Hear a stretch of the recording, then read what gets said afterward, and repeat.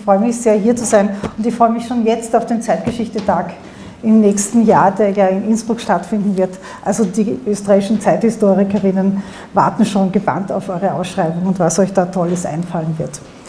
Äh, Worum es in der nächsten Stunde gehen soll, äh, es geht um die Frage äh, österreichisches Gedächtnis jetzt einmal unter Anführungszeichen. Und Sie haben hier ja unter dem Titel dieser Lehrveranstaltung 100 Jahre Republik Österreich, zwei Demokratien, zwei Diktaturen, die erste Republik, Dolphus-Schusnik-Regime, Drittes Reich, Zweite Republik. Äh, ich werde mich auf die letzten zwei äh, Aspekte konzentrieren, also das Dritte Reich und sein Nachhall in der Zweiten Republik. Sie wissen, auch im Haus der Geschichte ist das ein großes Thema, darauf werden wir auch eingehen. Äh, und das beginnt schon mit der Diskussion, mit der Entstehung des Konzepts Gedächtnis insgesamt. Und ich nehme an, dass ich Ihnen hier nicht äh, viel Neues erzähle, aber äh, ich habe mir gedacht, es macht Sinn, einmal am Beginn einige Begriffe zu klären, mit denen wir operieren. Und im Grunde genommen geht es um die Begrifflichkeiten Gedächtnis, Österreich, Europa. Also das einmal zu einem ersten einführenden theoretisch-methodischen Rahmen.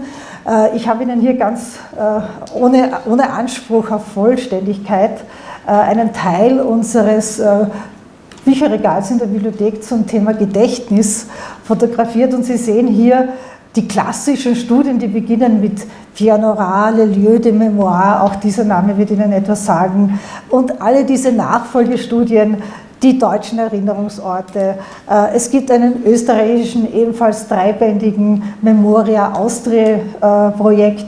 Äh, es gibt die Erinnerungsorte der DDR, die Erinnerungsorte des Christentums. Also es gibt praktisch nichts, was nicht gedächtnisfähig wäre, wenn man das so, sagen kann. Interessanterweise, wenn Sie dieses Buchregal sehen und sich gleich äh, zehn weitere Laufmeter wahrscheinlich vorstellen, die man dazu aufstellen könnte, Interessanterweise haben wir es aber mit einem Konzept zu tun, das relativ jung ist. Das erste Mal, dass der, dass, dass der Begriff Gedächtnis in dem Sinn auftaucht, wie wir ihn heute verwenden, in der Wissenschaft, aber auch wie es sich langsam in den öffentlichen Diskurs gewissermaßen äh, eingebettet hat, äh, lässt sich ganz präzise definieren. Und das ist in der Wissenschaft ja selten der Fall, dass man ein Paradigma so nachvollziehen kann. Und das ist im Jahr 1988 mit dem Sammelband im Surkamp Verlag, äh, den Jan Assmann gemeinsam äh, mit Tonja Hölscher herausgegeben hat. Sie sehen hier das Zitat äh, Kultur und Gedächtnis. Und das sind dann auch schon die Leitbegriffe. Wovon reden wir, wenn wir in dem Sinn von Gedächtnis sprechen? Äh, Jan Assmann und Aleida Assmann, interessanterweise keine Historiker, sondern ein Ägyptologe und eine Anglistin, haben dieses Konzept für den deutschsprachigen, für die deutschsprachige Wissenschaft äh, gewissermaßen erfunden. Ich kann jetzt darauf nicht eingehen, aber es wäre sehr interessant zu verfolgen, welche Resonanz dieses Konzept zum Beispiel in den angloamerikanischen äh, Geistes-, Sozial-, Kulturwissenschaften in den Humanities hatte, wo das sehr, sehr viel länger gedauert hat, bis man hier Gedächtnis als äh, quasi neue Kategorie aufgegriffen hat. Also hier ließe sich ganz interessante Semantik und das Wandern von Konzepten verfolgen. Im deutschsprachigen Raum hat äh, Gedächtnis unglaublich eingeschlagen. Pierre Nora spricht etwa von einem unglaublichen Gedächtnisboom, von einer Obsession für dieses Thema äh, im Jahr 2000 und wie gesagt zwölf Jahre zuvor taucht dieser Begriff erstmals auf. Worum geht es? Nur ganz kurz. Es geht eben darum, dass, äh, Nora, äh, dass äh, Assmann das bekannte Konzept von Maurice Halbwerks aufgreift, äh, der in der Zwischenkriegszeit, das zentrale Werk ist 1925 erschienen, von einem kollektiven Gedächtnis gesprochen hat. Also seine These war, dass sich Menschen nur im Rahmen, er spricht auch von den cadres sociaux, von den sozialen Rahmungen des Gedächtnisses, nur im Rahmen der Kommunikation mit anderen ihr Gedächtnis formen können. Äh, erst äh, wenn das nicht der Fall wäre, dann hätten sie gewissermaßen kein, kein, äh, kein Gedächtnis, das sich ausdrücken, das sich artikulieren ließe. Nun trifft äh, Assmann eine Entscheidung in diesem kollektiven Gedächtnis als Überbegriff zwischen einem kommunikativen Gedächtnis und einem kulturellen Gedächtnis. Äh, das hat auch den Vorteil, wie wir noch sehen werden, dass wir mit dieser Definition vom kulturellen Gedächtnis jetzt plötzlich in den Kulturwissenschaften, in den Geisteswissenschaften Dinge zusammenbringen können, die vorher nie zusammengegangen wären. Zum Beispiel, wie das Pierre Nora gemacht hat, Notre Dame äh, mit dem Croissant. Also, oder oder äh, das, äh, äh den Eiffelturm äh, mit der äh, Radtour durch Frankreich, mit der Tour de France oder mit einem Lexikon. Man, hat, man würde sich fragen, bevor man das Konzept der Gedächtnisorte kennt, was hat das alles miteinander zu tun? Ja? Und die Grundidee, und das ist auch die Grundidee von Assmann, ist, dass das gewissermaßen Denkmuster, dass das Vorstellungswelten, dass das Objekte sind, die mit der Identität einer Nation meistens geht es um die Nation, aber auch von anderen Gruppen, auch von Ländern. Und Sie, wissen ja, wie stark die Tiroler Landesidentität im Vergleich zu anderen Identitäten ist. In Österreich, da kennt man ja die Untersuchungen. Und heute mein erster Eindruck von Innsbruck war, dass das Baby beim Aussteigen den Tiroler Adler auf der Mütze hatte. Äh, und Sie werden auch sehen, im Haus der Geschichte gibt es auch eine eigene Abteilung, wo der Tiroler Adler auch sehr prominent ist. Also wie hängen gewisse Vorstellungen mit der Identität äh, einer Nation oder eines Landes und so weiter zusammen. Äh, zur Begriffsdefinition will ich nicht viel sagen. Also es geht darum, dass es sich um Fixpunkte handelt. Darum, darin unterscheidet sich das Alltagssprechen über Vergangenheit. Äh, das können Ereignisse sein und sie müssen kulturell geformt sein. Also Denkmäler sind gewissermaßen die Klassiker oder auch klassische Texte. Das österreichische Wörterbuch wäre zum Beispiel so etwas. Äh, Riten wie, sagen wir mal, die von Leichnamsprozession oder die ersten Maiaufmärsche. Und eben eine institutionalisierte Kommunikation. Es gibt quasi Experten, die das organisieren. Man könnte als Beispiel auch den österreichischen Zeitgeschichtetag als so etwas nennen, kommt immer wieder vor, ist ritualisiert, hat Expertinnen und Experten, hat bestimmte Formen. Also zukünftige Historikerinnen werden das als einen Gedächtnisort der Zeitgeschichte sehen. Aber die ganz spannende, das Spannende an dieser Definition von Assmann äh, und eigentlich auch das, was den Begriff äh, so schlagkräftig gemacht hat, ist seine Definition von Gedächtnis als Wissen. Und äh, Wissen ist ja in den Kulturwissenschaften so etwas wie die Zentralkategorie.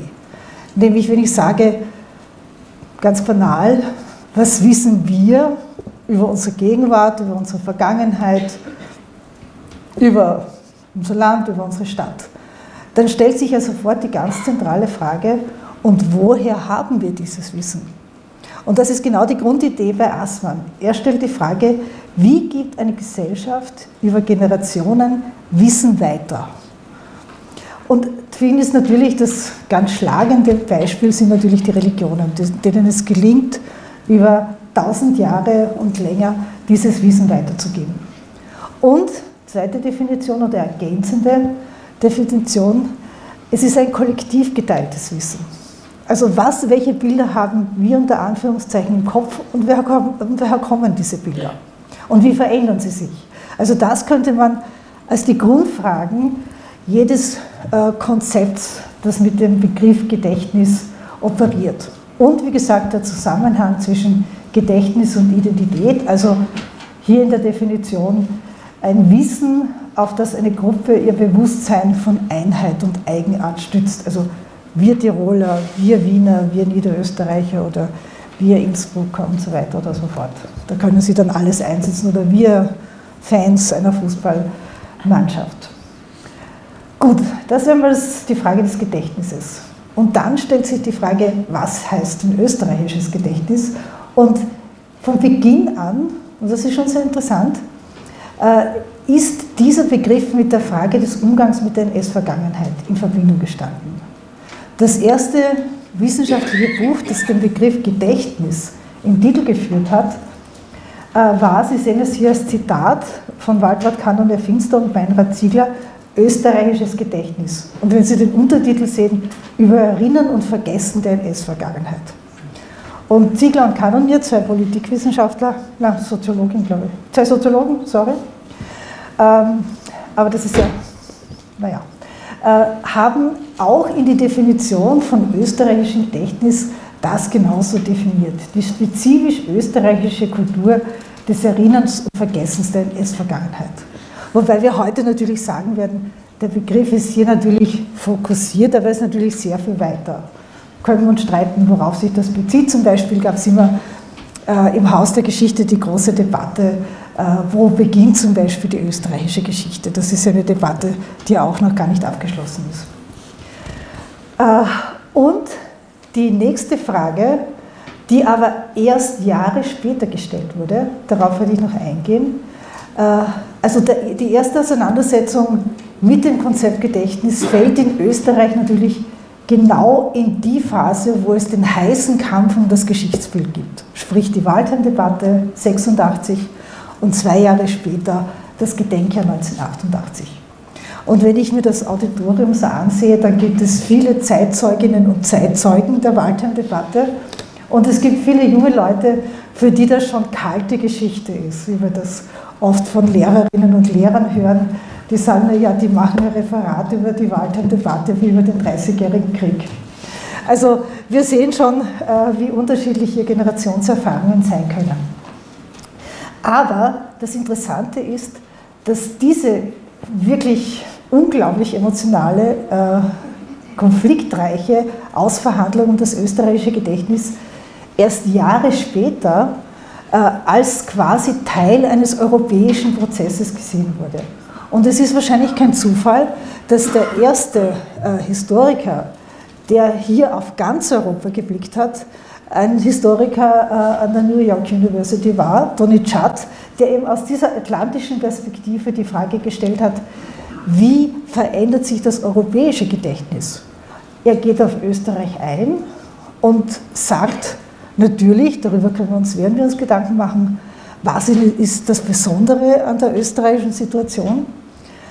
Aber er stellt die österreichische Situation auch in den Rahmen dessen, und diesen Begriff hat er geprägt und er ist auch sehr wirkungsmächtig geworden, des Zerfalls der europäischen Nachkriegsmythen. Also seine These ist, und er hat das in seinem berühmten Buch äh, Post-War, äh, das auch in Deutsch erschienen ist, kurz nach 2005, äh, ausgeführt, auch in einigen anderen Artikeln, erstmals 1993, also wir sehen 88 Gedächtnis, 93 im selben Jahr als österreichisches Gedächtnis jetzt erscheint und das ganz präzise auf den Nationalsozialismus fokussiert, stellt sich Tony Chart die Frage, wie ist das eigentlich in ganz Europa zu sehen? Und seine These ist, dass es eigentlich ein, ein synchroner Prozess ist, dass Österreich zwar ein Sonderbeispiel ist, weil Österreich ja nicht ein besetztes Land war, sondern genuiner Teil des Deutschen Reiches nach dem März 1938, aber äh, dass, es Teil, dass man ähnliche äh, Prozesse, ähnliche Argumentationsmuster in ganz Europa, auch in den besetzten Ländern beobachten kann. Er sagt nur, ganz zu Recht würde ich sagen, wenn die Weltöffentlichkeit schon akzeptiert hat, dass Österreich ein Opfer des Nationalsozialismus ist, dann haben natürlich alle anderen Länder weitaus bessere Argumente von sich dasselbe zu behaupten und sich nicht mit ihrer Verstrickung in den NS-Herrschaftsapparat auseinanderzusetzen. Also was sind dann die Argumente dieses quasi europäischen Nachkriegsmythos? Doniczat äh, nennt vor allem drei. Äh, das eigene Volk unter, unter Anführungszeichen ist das unschuldige Opfer einer militärischen Aggression, also einer Okkupation von außen und vor allem hat mit diesen Okkupanten de facto nichts zu tun. Was das Volk definiert, ist der nationale Widerstand, das, das, das Heldenepos gewissermaßen des Widerstandes. Und wenn es um Fragen an Schuld, auf Schuld und Mitverantwortung geht, dann werden diese auf Deutschland, das heißt natürlich die Bundesrepublik Deutschland, projiziert und adressiert. Sie wissen natürlich, die DDR hat sich als antifaschistischer Staat verstanden und insofern auch jede Verantwortung abgelegt. Das ist jetzt alles sehr trocken, es wird noch unterhaltsamer, wollte ich nur sagen, mit vielen Bildern und Beispielen. Aber so viel zur Einführung, dass wir auch den Rahmen sehen. Äh, wie schaut das jetzt in Österreich konkret aus? Also ich möchte das äh, in drei, in drei äh, ich möchte meinen Vortrag in drei Abschnitte teilen. Den ersten haben Sie jetzt schon hinter sich. Das sind gewissermaßen die Begrifflichkeiten, mit denen wir hier operieren und auch die, was ich versucht habe, ist zu sagen, es ist nicht, also als Erklärungsmodell ähm, ist es nicht ausreichend, nur auf Österreich zu schauen. Ja? Man muss die österreichische Entwicklung in einem gesamteuropäischen bzw. in einem internationalen Kontext sehen. Das wäre mal die, die erste These.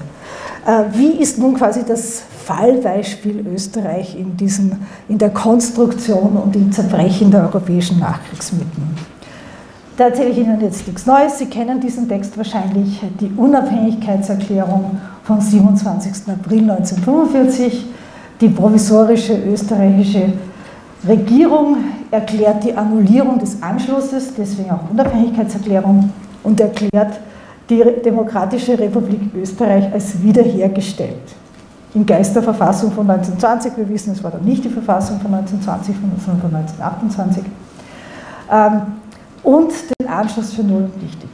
Und was hier noch ganz wichtig ist und einen großen Teil einnimmt, also die zwei, die, die Gesetzes, also quasi das, das, was das Gesetz ausmacht, diese Unabhängigkeitserklärung ist relativ kurz, aber viel, viel länger ist die sogenannte Präambel, in der nun auf die Moskauer Deklaration äh, des Jahres 1943 zurückgegriffen wird und unter wörtlicher Bezugnahme eben die berühmte Definition fällt, dass Österreich, wie gesagt, mit Zitat aus der Moskauer Deklaration, das erste freie Land war, das der hitlerischen Aggression zum Opfer gefallen ist und dass der Anschluss eine militärische äh, Okkupation war, die dem hilflos gewordenen Volk Österreichs aufgezwungen wurde.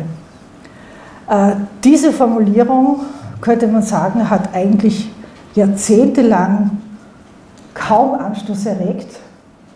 Äh, sie war auch, aber darauf können wir wenig eingehen, jahrzehntelang auch quasi eher ein totes Wissen. Ja? Also man hat sie nicht so wirklich, also es hat keine große Rolle gespielt. Äh, erst in der Waldheim-Debatte wurde diese gewissermaßen Staatsdoktrin des Jahres 1945 äh, dann wirklich explizit in Frage gestellt. Die Frage, wie hat das Geschichtsbild unter dem Vorzeichen dieser Opferthese ausgesehen, möchte ich Ihnen jetzt an ein paar Beispielen zeigen.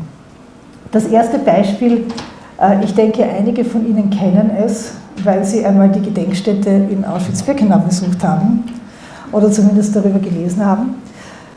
Das ist die berühmte Eingangssequenz in die österreichische Gedenkstätte in Auschwitz-Birkenau.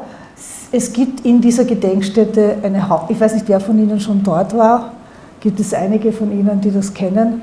Es gibt eine Hauptausstellung äh, und es gibt Länderpavillons unter Anführungszeichen, also Baracken im Stammlager, in denen verschiedene Länder ihre Ausstellungen über ihre eigene Leidensgeschichte haben. Und Österreich konnte 1978 dort eine Ausstellung eröffnen. Übrigens im selben Jahr hat das Dokumentationsarchiv des österreichischen Widerstandes seine erste Ausstellung eröffnet. Also wenn Sie denken, erst 1978 kommt es gewissermaßen zu den ersten Historisierungen des Nationalsozialismus auf der Ebene von Museen äh, und Ausstellungen.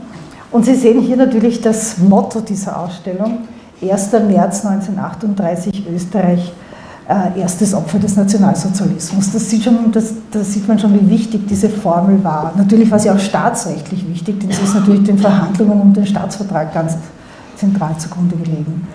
Und interessanterweise ist das sicher die beste Visualisierung der Opferthese, äh, die äh, man auf der Bildebene kennt.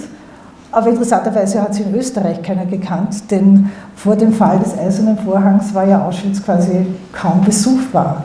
Also es ist kein Zufall, dass äh, jetzt sage ich mal die Opferthese ein grundlegendes Visualisierungsproblem hatte, weil es natürlich die vielen Bilder von den Juve-Szenen gegeben hat und die waren natürlich noch in den Köpfen der Menschen. 2013 äh, wurde diese Ausstellung dann endgültig äh, geschlossen und Sie können die Paneele dieses Eingangs, das riesengroß können Sie heute in der Ausstellung des Hauses der Geschichte sehen. Also so aneinander gestellt. Einige weitere Beispiele. Es, es gab im Jahr 1946, also in der kurzen Phase eines antifaschistischen Grundkonsenses in Österreich, eine Ausstellung im Wiener Künstlerhaus mit dem Titel Niemals vergessen, schon interessant 1946, dass man zum Niemals vergessen aufruft, ein Jahr nach Kriegsende. Also der Versuch, so etwas wie eine Umerziehungsausstellung zu gestalten, äh, übrigens haben registrierte Nationalsozialisten und Nationalsozialistinnen sich in dieser Ausstellung einen Stempel abholen können, um so quasi ihren guten Willen zu zeigen, dass sie sich äh, darüber aufklären wollen. Und hier sehen Sie natürlich die Opferthese in ihrer Fassung des Jahres 1945. Wer ist schuld? Äh, der deutsche Militarismus, das haben wir auch vorgesehen, wenn Sie sich das anschauen, die preußischen Stiefel zertrampeln gewissermaßen Österreich. Übrigens ist der 1. April 2000 ja genau in diesem Muster äh, das unschuldige Österreich, das eben von den brutalen Okkupatoren äh, vernichtet wird. Und ich zeige Ihnen das Bild auch deswegen, weil Sie eine interessante Deutung äh, des, der Zerstörung des Stephansdoms sehen, nämlich wer ist schuld? Schuld ist der Nationalsozialismus. Also Faschismus ist Tod, Faschismus ist Krieg und so weiter und so fort. Aber wie gesagt, das war in einer relativ kurzen Phase nach Kriegsende und das hat sich mit dem Kalten Krieg dann relativ rasch geändert. Also diese antifaschistische Opferthese, auch die Würdigung des Widerstandes, das war eine sehr, sehr kurze Phase. Und wenn Sie sich etwa anschauen, die Widerstandsdenkmäler in Österreich, dann gibt es Initiativen fast in allen Landeshauptstädten, auch in Wien, die 45, 46 gewissermaßen äh, äh, engagiert betrieben werden und die 48 abbrechen. Also dann gilt unter dem Vorzeichen des Kalten Krieges Widerstand als kommunistisch. Und kaum ist es, es ist kaum noch möglich, Widerstandsdenkmäler durchzubringen. Tirol ist ja ein bisschen anders, äh, denn hier gibt es doch auch diesen patriotischen Widerstand, den katholisch-patriotischen äh, Würdigung des Widerstands. Das ist ein weiteres Beispiel. Sie werden sich natürlich fragen, wie hat zum Beispiel das Dokumentationsarchiv 1978 den Anschluss ausgestellt, äh, indem man ihn unter dem Vorzeichen der Opferthese zeigen wollte. Und dann, Sie haben in dieser alten Ausstellung, die 2005 abgebaut wurde, genau Szenen wie diese gesehen.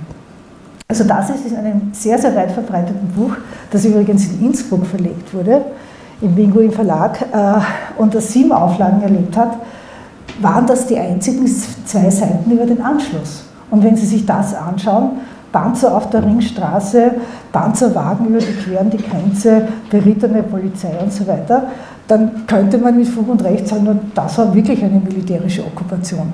Also andere Fotos waren in diesem Buch nicht vertreten. Und auch im Dokumentationsarchiv haben Sie kein einziges Foto von Heldenplatz gefunden, in der alten Ausstellung, 1978 eröffnet.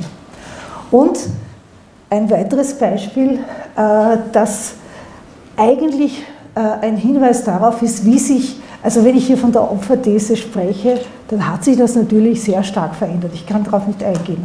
Aber im Grunde genommen, und das ist das Wichtigste, gab es eigentlich in, seit den 50er Jahren in der Zeit des Kalten Krieges nicht eine Opferthese, sondern zwei Opferthesen. Die eine Opferthese war die, die ich Ihnen jetzt präsentiert habe. Österreich erstes Opfer des Nationalsozialismus. Aber, ich habe schon erwähnt, mit dem Kalten Krieg wurde diese Opferthese total äh, ausgehöhlt. Was äh, in weiten Teilen des öffentlichen Diskurses, vor allem außerhalb dieser schmalen Ebene von offizieller Politik, äh, in der Außenpolitik, in den Staatsvertragsverhandlungen, äh, wirkungsmächtig und vielfach wirkungsmächtiger als die offizielle Opferthese wurde, ist die These, dass die Österreicherinnen und Österreicher Opfer des Krieges gegen den Nationalsozialismus wurden. Und der brennende Stephansdom steht genau für dieses Bild, dass eigentlich gewissermaßen äh, das katholische Österreich und Österreich ist Satsch, denn der Stephansdom steht ja auch für Österreich, äh, nicht Opfer des Nationalsozialismus, sondern Opfer des Krieges gegen den Nationalsozialismus wurde. Und das hat natürlich auch den Rahmen des Sagbaren bestimmt. Also wenn Sie sich vorstellen, dass äh, Widerstandskämpfer gewissermaßen, ich sage es jetzt mal so laut, die Outlaws waren, auch nach 1945, äh, dass der Kriegsdienst in der Wehrmacht gewissermaßen zum, zum, zum, Normalfall des Verhaltens wurde. Und genau in dieser Phase entstehen in praktisch jedem Ort die Kriegerdenkmäler für die Gefallenen des Zweiten Weltkriegs. Meistens als Ergänzungen auf den Denkmälern des Ersten Weltkriegs, manchmal auch als eigenständige Denkmäler. Und da sieht man sehr deutlich, und das ist sehr interessant zu sagen, unmittelbar nach 1945 entstehen die Widerstandsdenkmäler. Kriegerdenkmäler entstehen erst Ende der 40er Jahre, Anfang der 50er Jahre. Und am Beginn ist man dann noch ganz unsicher, wie man damit umgehen soll. Und in den 50er Jahren, als der Kameradschaftsbund wieder gewissermaßen zugelassen wird, 1952, haben wir schon den ganzen Diskurs äh, Helden des Vaterlandes, Helden der Ehre, Helden der Treue. Also hier haben wir schon gewissermaßen die, den, den potenziellen Grundwiderspruch der in dieser Phase schon da ist und der auch manchmal aufbricht. Also es gibt in den 60er Jahren einige ganz wilde Denkmalkonflikte, aber wer sind die Akteure? Also die Akteure äh, sind die Kritiker des Widerstandsgedenkens, die sagen, das war Vaterlandsverrat, äh, das waren Kameradenmörder. Also man könnte sagen, der Wehrdienst war so etwas ähm, äh, wie das Normalverhalten in der NS-Zeit aber alles mit diesen zwei gewissermaßen vollkommen unverbundenen Opferthesen nach außen, Antithese bzw. These von Österreich als Opfer des Krieges, entweder militärisch die Wehrmachtssoldaten oder die Zivilpersonen durch den Bombenkrieg, durch die Vergewaltigungen durch die Rote Armee und so weiter und so fort. Wir haben hier also zwei ganz unterschiedliche Geschichtsbilder und man könnte annehmen, dass das in anderen Ländern wahrscheinlich durchaus nicht unähnlich war. Was beginnt, jetzt, beginnt in den 80er Jahren? Wie gesagt, auch hier zeigt sich, und das ist das Interessante äh, an, dem, äh, an dem Aufsatz, dem Zugang von Dunichat, dass man sehen kann, dass nicht nur in Österreich 1986 das Geschichtsbild der Opferthese in der Waldheim-Debatte in Frage gestellt wird, sondern dass Ähnliches in fast allen europäischen Ländern so wie ein Dominostein passiert und nach 1989 auch in etlichen Ländern des ehemaligen Ostblocks, also nach dem Fall des Eisernen Vorhangs und dem Zerfall der kommunistischen Staatenwelt. Äh, und interessanterweise, äh, wenn Sie etwa an Deutschland denken, an den Historikerstreit, damals noch Bundesrepublik DDR, 86, also 86 Historikerstreit in Deutschland, 86 Waldheim-Debatte in Österreich, 87 erscheint in Frankreich äh, ein Milestone, könnte man sagen, nämlich das Buch von Henri Rousseau, einem Historiker, über das Vichy-Syndrom, in dem er die Kollaboration äh, von Teilen Frankreichs thematisiert. Und in allen diesen Fällen lassen sich also nicht nur die Konstruktion der europäischen Nachkriegsmythen hat ein gemeinsames Muster, wie es Donitschat als erster beobachtet hat, auch ihr Zerfall hat ein gemeinsames Muster.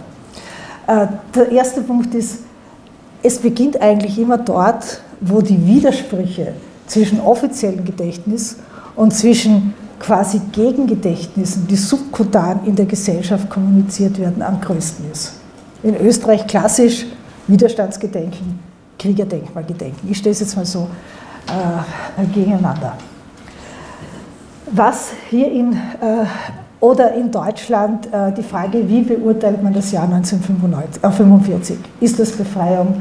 Äh, ist das Besetzung? Äh, wie beurteilt man die quasi Verbrechen der Roten Armee gegen Teile der Zivilbevölkerung? Das war das Thema des Historikerstreits. In Frankreich, wie geht man mit dem Mythos der Resistance um? In allen diesen Gesellschaften geht es um den Switch, könnte man sagen, von der Externalisierung des Nationalsozialismus aus der eigenen Geschichte zur Internalisierung, also zur, dass diese Geschichte überhaupt einmal Bezugspunkt wird.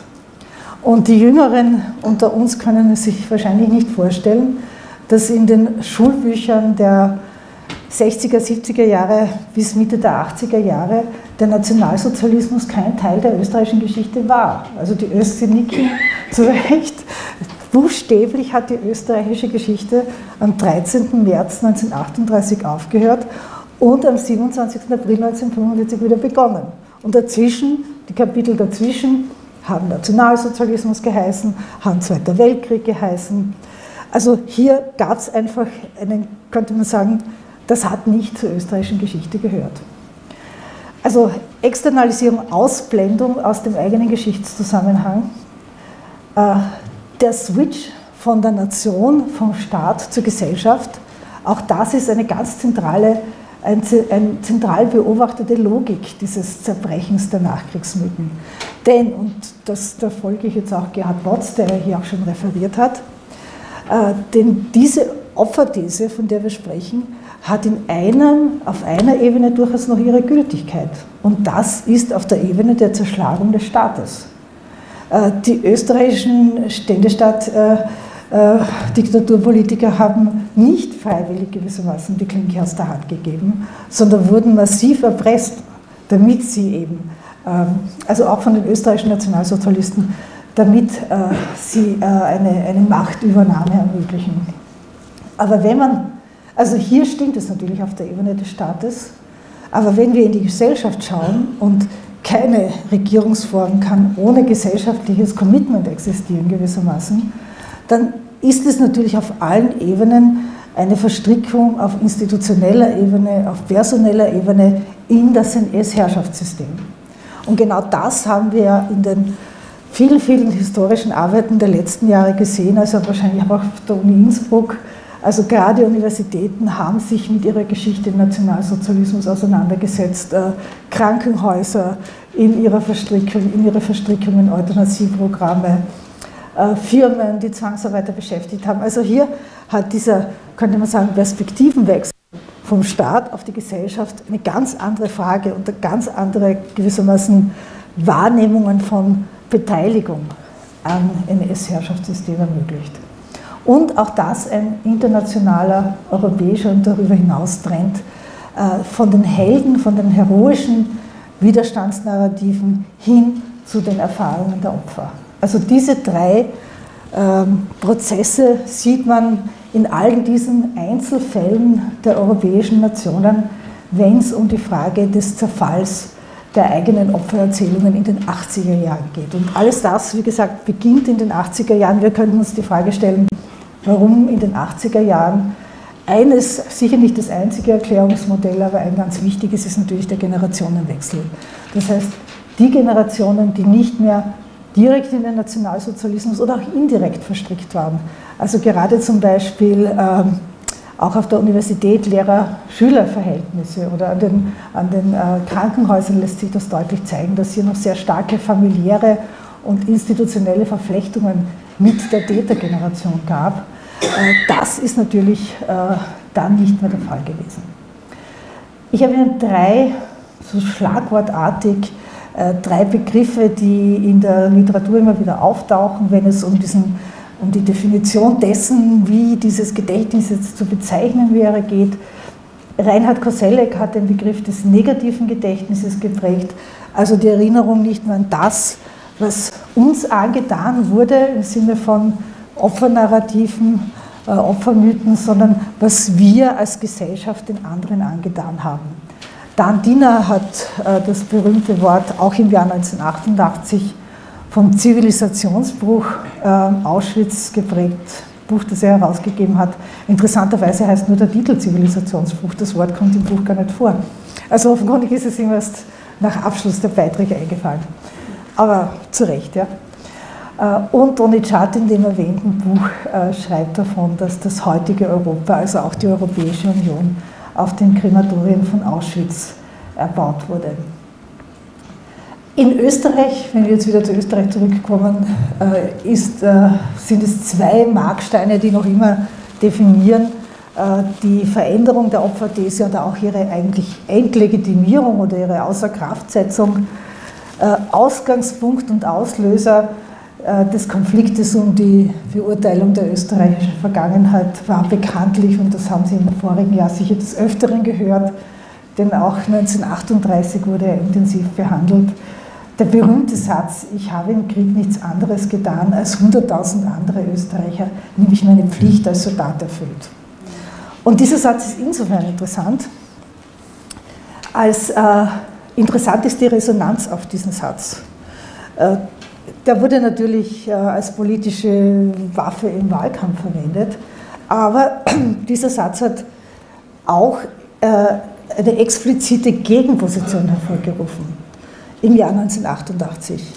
Im Jahr 1975 hat sich Friedrich Peter gegen die äh, Berichte, dass er an einer SS-Einheit beteiligt gewesen sei und in Massenerschießungen, die in Massenerschießungen verwickelt war, genau mit demselben Satz verteidigt.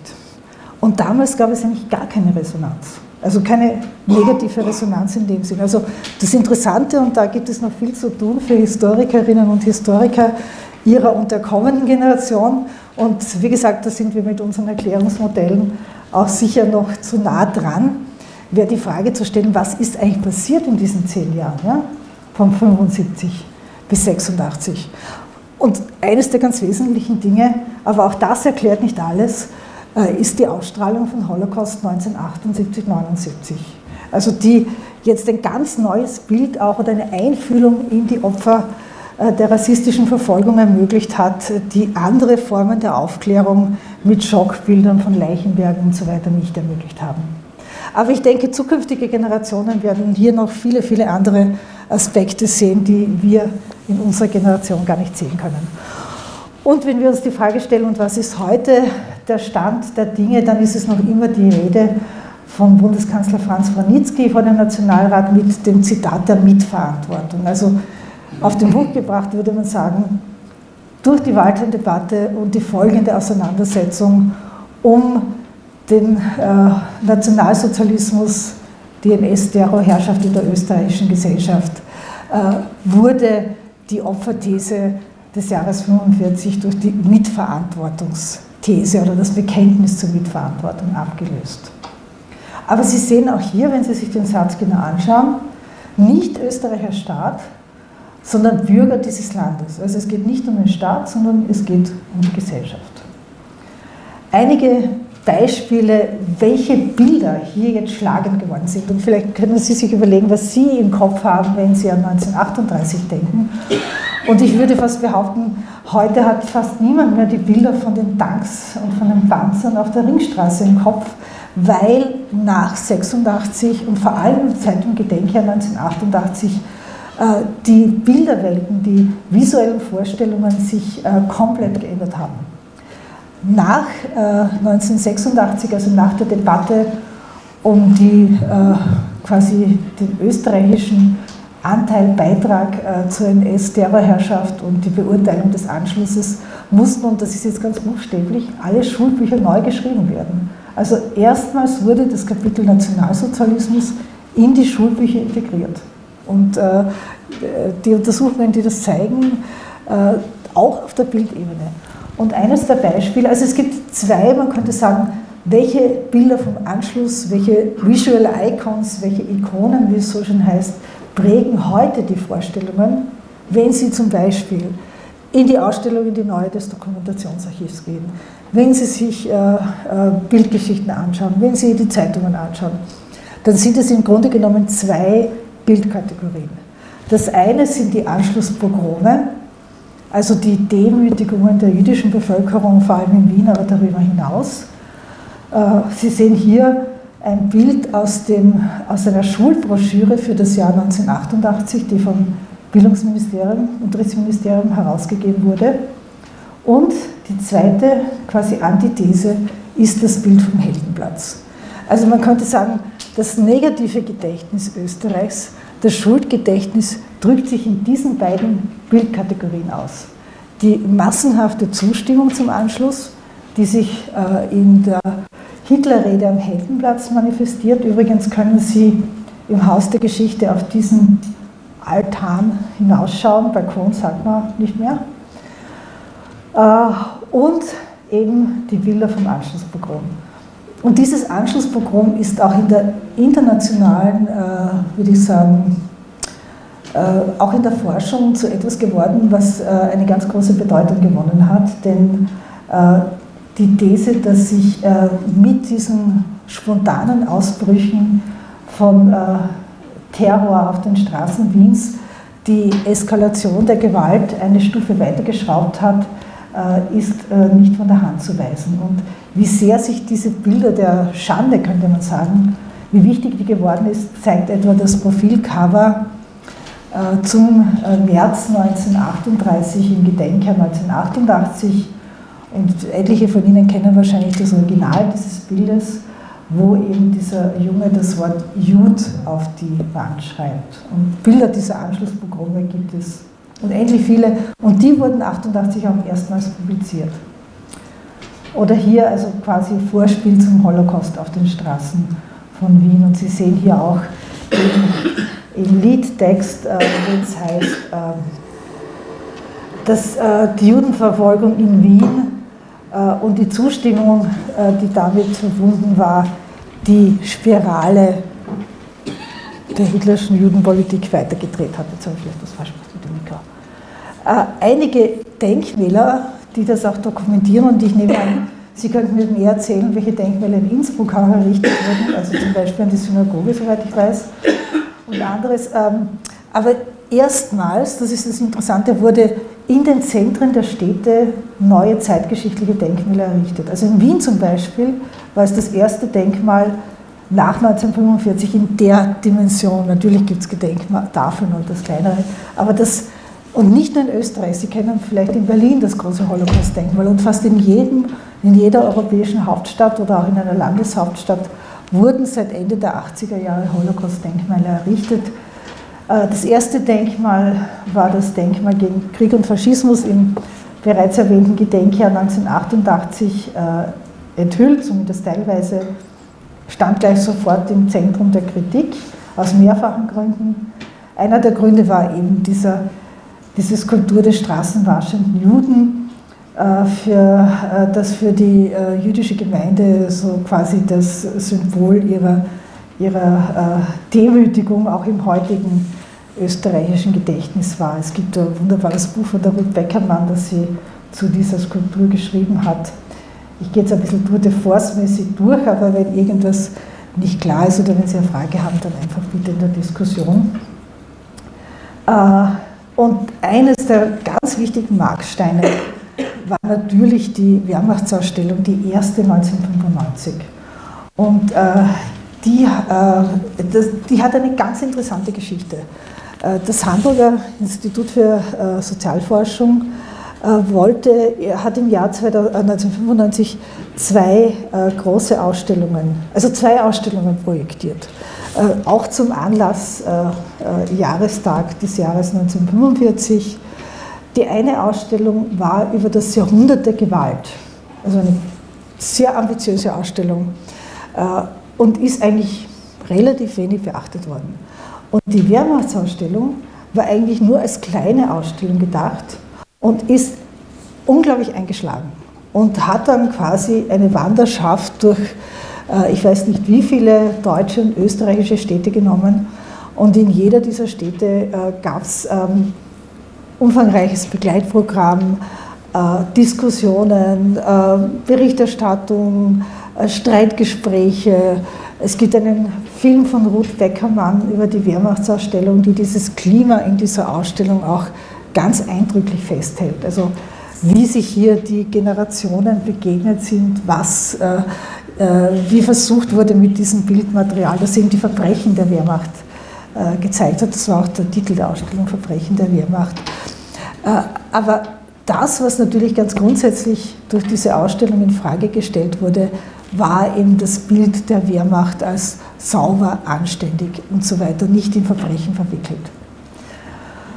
Äh, was sich nach, durch diese Wehrmachtsausstellung auch geändert hat, ich kann jetzt nicht auf die erste, zweite eingehen, äh, es gab Kritik an einigen Fotos, äh, die falsch zugeordnet wurden, daraufhin wurde die Ausstellung neu gestaltet, hat auch angestoßen, das muss man sagen, unglaublich ähm, eine neue, äh, könnte man sagen, Stufe des quellenkritischen Umgangs mit Fotografie.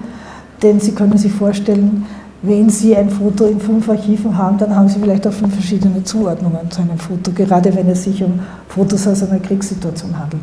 Also hier hat die Quellenkritik jetzt äh, äh dadurch unglaublich, äh, ist, ist ja unglaubliche Standards äh, aus dieser Ausstellung entstanden. Und worauf diese Wehrmachtsausstellung in der, in der langen, könnte man sagen, in der langfristigen äh, Wirkung auf jeden Fall Einfluss genommen hat, ist die Art und Weise, wie man nun äh, in der Erinnerungskultur mit den gefallenen Wehrmachtssoldaten umgehen soll. Das ist ein extrem komplexes Thema, auch sehr emotional aufgeladen, äh, weil es natürlich bis in die Familiengedächtnisse hineinreicht. Aber die, die in den 50er Jahren ganz selbstverständlichen Inschriften, äh, Helden der Treue und Helden der Ehre und Verteidiger des Abendlandes waren da natürlich dann nicht mehr möglich. Äh, übrigens sehen Sie im Haus der Geschichte eines meiner Lieblingsobjekte, ist äh, eine, eine, ein Modell eines Kriegerdenkmals in der Obersteiermark, das äh, in der ursprünglichen Form eine Inschrift gehabt hat, wie ich es überhaupt noch nie gesehen habe, und die wurde dann auch entschärft, wie es so schön heißt. Nämlich in der ursprünglichen Fassung am Modell sehen Sie tatsächlich die Inschrift und ihr habt doch gesiegt. Also äh, schon so eine äh, ein Versuch, äh, und man muss sich da natürlich den, den Kalten Krieg mit seinem äh, Systemkonflikt zwischen West und Ost vorstellen, der eben diese Vorstellung hat, wer war doch auf der richtigen Seite, dann zumindest hat in diesem Fall entstehen lassen können. Mit, also Kriegerdenkmäler sind ein ganz, ganz ganz heikles Thema. Und wie gesagt, es hat sich hier viel verändert, aber vieles subkutan. Es gab einige Konflikte, aber die meisten Veränderungen äh, sind ganz, könnte man sagen, ähm, unter der Oberfläche von Konflikten und Diskussionen entstanden. In vielen Fällen, wenn Kriegerdenkmäler verlegt wurden, wenn es äh, neue Ortsumfahrung gegeben hat oder der äh, Fahrplatz neu gestaltet wurde, plötzlich ist das Denkmal woanders und plötzlich gibt es eine neue Inschrift. Also das ist eine interessante Frage, wie sich hier diese Denkmäler ohne wirklich, äh, also es gab sicher viele Diskussionen innerhalb Gemeinderat, Pfarrgemeinderat und so weiter, aber wie sich hier doch im Großen und Ganzen dieser Diskurs der 50er Jahre als nicht mehr, also die Helden äh, der Heimat gewissermaßen als nicht mehr tragbar erwiesen hat. Mit ziemlicher Verspätung ist diese Frage dann auch im zentralen österreichischen Heldendenkmal angekommen, das, wie ich annehme, fast niemand kennt. Also nicht nur außerhalb Wiens, sondern auch in Wien war das äh, das unbekannteste Denkmal. Äh, Im Ranking würde ich sagen, an vorletzter Stelle. Das unbekannteste Denkmal ist wahrscheinlich das Denkmal äh, der Republiksgründung im Schweizer Garten. Also dieses Denkmal, Sie sehen zu rechts, dass Sie nichts sehen, ja, es ist nämlich in einem Innenraum. Kann man spekulieren, warum das in einem Innenraum ist. Äh, ich zeige Ihnen das, wie es ausschaut.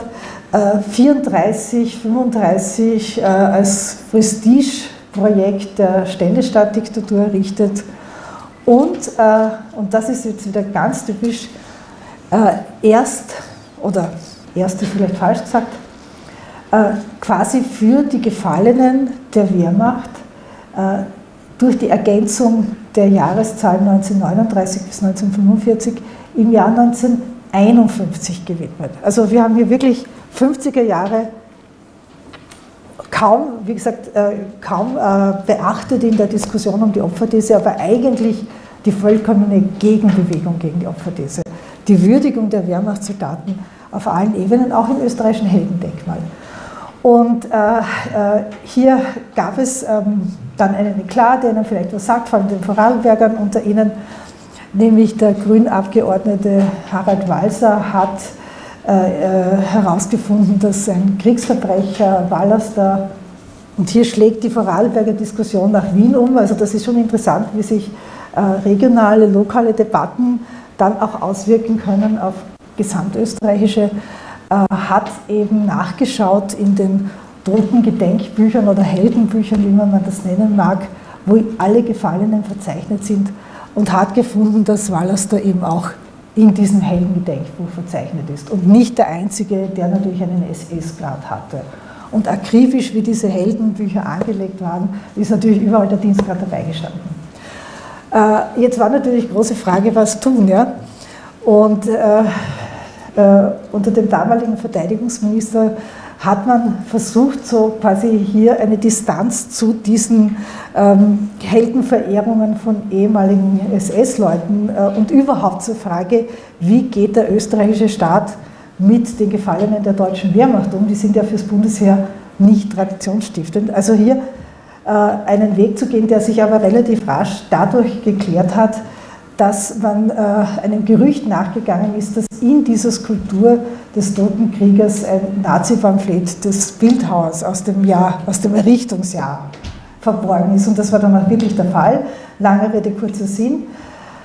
Auch das österreichische Heldendenkmal hat sich mit zeitlicher Verzögerung und mit vielen Geschichten, die dranhängen, Kranzniederlegung von Burschenschaften am 8. Mai und so weiter, können wir vielleicht in die Diskussion eingehen, äh, grundlegend geändert, als dieser tote Krieger äh, nicht mehr und damit auch die, das Gefallenengedenken nicht mehr äh, von äh, österreichischem Bundesheer äh, in seine Traditionen aufgenommen wurde.